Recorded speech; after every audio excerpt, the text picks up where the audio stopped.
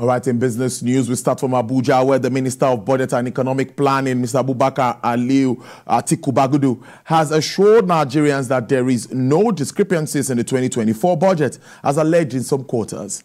The minister made the statement in a media engagement with journalists on the 2024 Appropriation Act. Mr. Bagudu said the misconception and narrative that the budget was padded has been viewed in a negative way.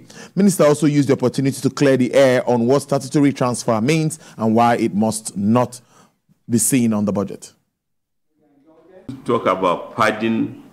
I think the, the word has been narrowed to a negative form, whereas in reality, there can be no appropriation without either addition or subtraction of a sum or agreeing to what was presented or addition of a new project.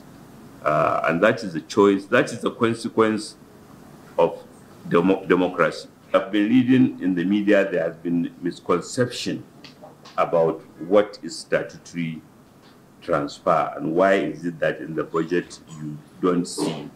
This is from 1999, if you take any Nigerian budget, you will not see details of statutory transfer. These are transfers to agencies that either are created by a constitution or by legislation. So they, are, they have the right to draw up their own budgets